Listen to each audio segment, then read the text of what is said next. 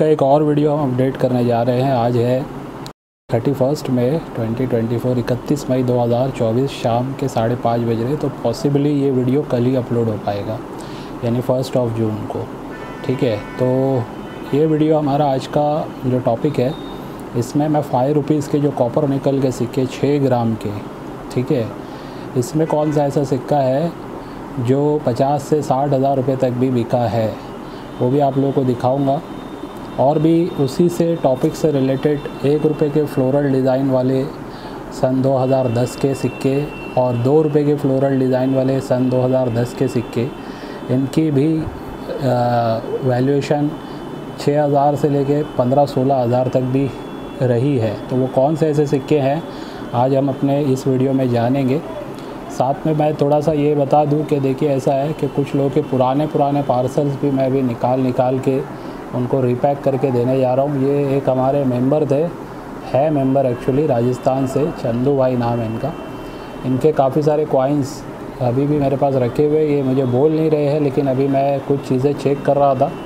तो ये मुझे याद आया कि इनका भी पार्सल्स रिटर्न करना है। तो जस्ट मैं इसको पहले आपको दिखा देता हूँ। काफ़ी सारे कॉइन्स थे इनके और नोट्स के बंडल भी थे। कुछ तो हमने मतलब सेल आउट भी किया है, लेकिन जो कुछ रह गया था मेरे पास, जो अब उनको रिटर्न करने वाला हूँ मैं, वो भी दिखा देता हूँ आपको। ये एज़ इट इज़ रखा हुआ है, इनका जो भी कॉइन्स वगैरह थे, ये देख सकते हैं आप। उन्होंने ऐसे पैकिंग करके भेजा था मुझे। ये सारे रिपब्लिक इंडिया के भी इन्होंने कॉइन्स भेजे थे मुझे।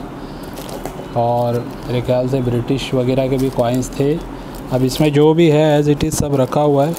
ये देखिए आप इसमें मुग़ल्स के भी कॉइन है। हालाँकि इन्होंने मंगाया नहीं है, अभी इनसे मेरी बात होगी, फिर उसके बाद मैं जो भी इनको रिटर्न करना होगा रिटर्न कर दूँगा। अभी ये मुग़ल्स वगैरह के कॉइन्स के ऊपर मेरा आगे चल के थोड़ा सा काम होने वाला है, क्योंकि ऐप पे मैं अपडेट करने जा रहा हूँ। तो ज़ाहिर सी बात है, उस पर मुझे अपनी स्टडी बढ़ानी पड़ेगी।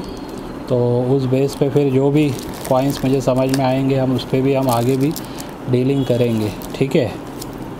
तो ऐसे बहुत सारे कॉइन्स इन्होंने भेज के रखे और मेरे ख्याल से बंडल्स भी थे इनके। वो मैंने इसमें एज इट इज़ पैक करके, ये कॉइन्स है सॉरी ये भी बहुत सारे कॉइन्स हैं इसमें तो ये इनको रिटर्न होने वाले। कुछ नोट्स के बंडल भी बचे हुए हैं, मेरे ख्याल से दो तीन अब वो इसमें है या कहीं और रखे, वो भी देख लूँगा। बोलना ये है कि भाई, पुराने फिर आप रख के मेरे पास भेजे हो अगर मैं कुछ नहीं बोल रहा तो कम से कम आप मुझे एक बार याद दिला दो। ऐसा ना हो कि बहुत टाइम के बाद फिर मुझे ही वो चीज़ें ना मिले। हालाँकि मैं रखा हूँ तो मोस्टली चीज़ें मिल जाती है, लेकिन अगर नहीं मिलेगी तो दिक्कत हमारे बीच में हो जाएगी और हमारे बीच में मिसअंडरस्टैंडिंग हो जाएगी, क्योंकि बहुत सारे कॉइन्स है हैंडल करने होते हैं। तो बहरहाल जैसे कि मैंने बताया था कि अब जो है मैं ऐसे कॉइन्स लूँगा जो स्टॉक में रखे रहें और वो रीसेल ना हो रहे हो तो उसको हम रोकेंगे नहीं। रेयर कॉइन्स मोस्टली हम लेंगे या एक्सट्रीमली रेयर या ऐसे कॉइन जो मतलब जिसके डिमांड हो, ठीक है? चाहे वो यूएनसी कंडीशन में स्कार वेरी स्कार श्रेणी के ही कॉइन क्यों ना हो या पाउचेस या यूएनसी सेट वगैरह, लेकिन जिसके डिमांड होगी, उसको ही हम अपने पास लेंगे और विद इन अ मंथ उसको जिनके भी कॉइन सेल करवाने के लिए आएँगे विद इन अ मंथ उसको सेल करके हम पेमेंट देने की पूरी कोशिश करेंगे, ठीक है? तो आज के टॉपिक में जो मैं फ़ाइव रुपीज़ के कॉइन बताने वाला हूँ, जैसे ये वाले जो कॉइन आप देख रहे हैं मेरे हाथ में, इसी कॉइन्स में से वो एक कॉइन है। ये देख रहे हैं आप एकदम बी यू कंडीशन के ये कॉइन्स है। ये मॉस्को मिंट के कॉइन एक्चुअली सन 2000 के फाइव रुपीज़ के कॉपर निकल वाले। ये भी मॉस्को मिंट के है, ये 99 के है। ठीक है तो इनमें कुछ ऐसे भी कॉइन्स है अब जैसे ये वाला देखिए 1998 का, बॉम्बे मिंट का ये फैट लाइन डाइवरेटिव वाला यूएनसी कॉइन है। ये भी मैंने सेल किया था अभी, ये सब रखा हुआ है कुछ कुछ 99 का मेरे पास नोएडा मिंट का यूएनसी में है। 99 का अगर फैट लाइन मुंबई मिंट का यूएनसी में मिले तो वो भी काफ़ी दुर्लभ है आज के टाइम में। ये 99 का नोएडा का है। फैट लाइन यानी कि इस तरीके का लायन दिखेगा उरा हुआ। और ईयर के नीचे आपको मिंट मार्क जो है डायमंड बना हुआ नज़र आएगा। डॉट नहीं होना चाहिए डायमंड होना चाहिए। तो उसकी वैल्यूएशन कम से कम मैं ही आपको हज़ार रुपये पे कर सकता हूँ अगर यूएनसी ग्रेड में वो सिक्का हो। लेकिन अब मैं आपको आ, बुक से ही दिखाने जा रहा हूँ। जो ऑक्शन होता है उसमें ये कॉइन ऑक्शन हुआ था। वो ये वाला कॉइन है आप देख सकते हैं। सन 2003 का ये एक्सपेरिमेंटल पैटर्न का कॉइन है, सन 2003 का आप इसको देखिए। ये इस टाइप का ये कॉइन है। बॉम्बे मिंट से बना हुआ ये कॉइन है फाइव रुपीज़ का कॉपर निकल का। ठीक है, इसके ऊपर आप देख सकते हैं ई एक्स पी लिखा हुआ ई एक्स पी टी आपको लिखा हुआ नज़र आ रहा है। यानी एक्सपेरिमेंटल कॉइन इसको कहते हैं। बनने से पहले जो कॉइन को एक्सपेरिमेंट जिन पर किया जाता है, कुछ कॉइन्स का डिज़ाइन बना के ये वो टाइप के कॉइन होते हैं, जो बहुत कम बनते हैं। दो, पाँच, दस, बीस पीस इससे ज़्यादा ये नहीं बनते। ठीक है, जहाँ तक मुझे पता है।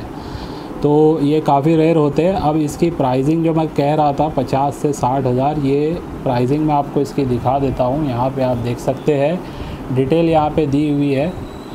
Copper nickel five rupees experimental pattern coin है 2003 ठीक है।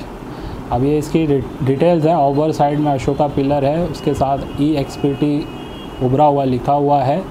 ठीक है डिनोमिनेशन वगैरह पे भी डेट के ऊपर भी आपको ई एक्सपीटी उभरा हुआ नज़र आएगा। डायमंड मिंट मार्क है बॉम्बे मिंट का और रेडिड एज का ये कॉइन है और ये ग्रेडेड कॉइन है एनजीसी से, ठीक है। और आप इसकी ग्रेडिंग देख सकते हैं एम एस सिक्सटी सिक्स यानी कि यू एन सी ग्रेड का ये कॉइन है, सबसे हाईएस्ट ग्रेडिंग यही होती है सिक्सटी सिक्स और वेरी रेयर लिखा हुआ है, इसके बारे में एस्टिमेशन प्राइस भी आप चेक कर सकते हैं, पचास हज़ार से साठ हज़ार रुपया। इसकी वैल्यूएशन डाली गई थी, ठीक है? तो ये ऐसे भी कॉइन अगर आपको नॉलेज है, हो सकता है किसी के पास ये मिल जाए। तो इस टाइप के कॉइन्स को आप डुप्लिकेट समझ के या फिर कोई काम का नहीं है समझ के अगर आप किसी को उठा के दे देंगे तो आपको हो सकता है वो यूएनसी में ना भी हो तो दस बीस हज़ार रुपये तो ईज़िली मिल सकता है उसका जो आपको नहीं मिल पाएगा।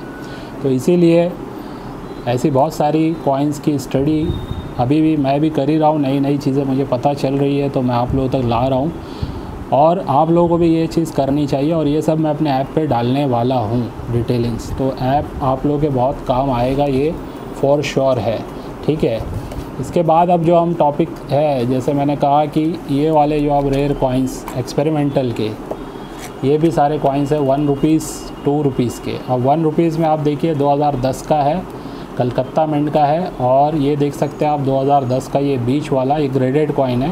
पीसीजीएस से ग्रेडेड है 66 इसकी भी ग्रेडिंग है और ये मुंबई मिंट का है, ठीक है। और ये वाला आप देख सकते हैं टू रुपीज़ हैदराबाद मिंट का है, ये भी एक्सपेरिमेंटल कॉइन है। 2010 का टू रुपीज़ का फ्लोरल डिज़ाइन का ई एक्सपीटी आपको लिखा हुआ सब के ऊपर नज़र आ रहा होगा। तो 2022 का ये ऑप्शन हुआ था, उसकी ये मैं आपको एस्टिमेशन प्राइसिंग दिखा रहा हूँ। तो 2010 का एक रुपया जो कलकत्ता मिंट का है विदाउट ग्रेडिंग वाला, ये भी मेरे ख्याल से लगभग काफ़ी एक्सट्रीमली फ़ाइन कंडीशन का था ये कॉइन फिर भी देखिए प्राइस छः से सात हज़ार रुपये इसकी रखी गई थी।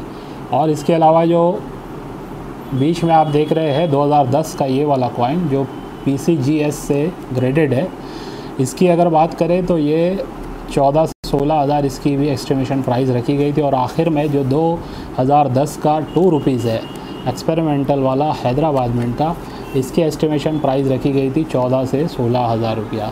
ठीक है तो ये भी ऐसे कॉइन्स है जो हाई वैल्यू में बिकते हैं। वैल्यूएशन इनकी इसलिए हाई है क्योंकि ये काफ़ी दुर्लभ है।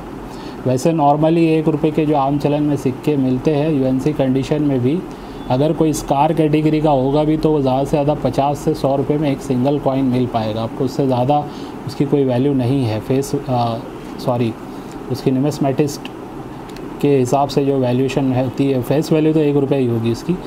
लेकिन जो एक्सपेरिमेंटल कॉइन होते हैं इस टाइप के तो इनकी वैल्यूएशन देखिए कहाँ से कहाँ पहुँच जाती है। जैसे फाइव रुपीज़ का आपने जो देखा, ये पचास से साठ हज़ार रुपया वैल्यूएशन रखता है।